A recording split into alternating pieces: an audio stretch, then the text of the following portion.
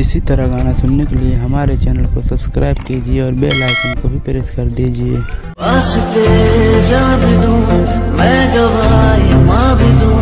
किस्मतों का लिखा मोड़